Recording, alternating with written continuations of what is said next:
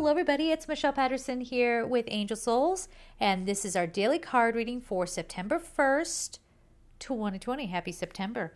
All right. So today we have Lemurian Quartz Practice Patience.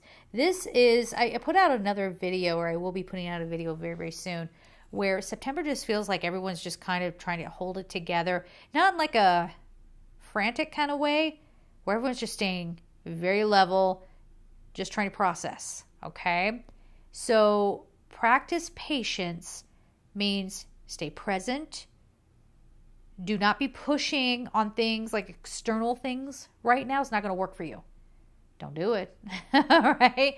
Do not do it. So today is about understanding that not everything's going to manifest in the way that you want it or in your timing, but rather in divine timing. I use this example all the time.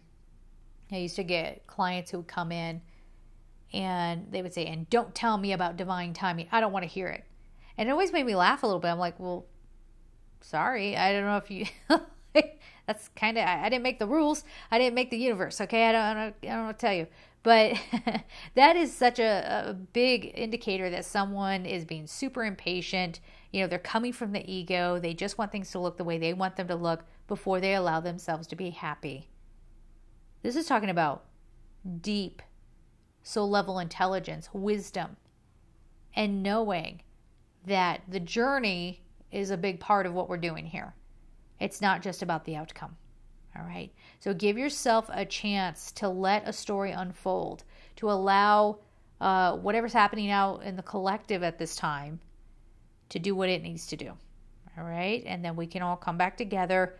But just if you start to feel yourself getting kind of riled up that things are not looking the way you want them to, stop, take a breath, and remember patience.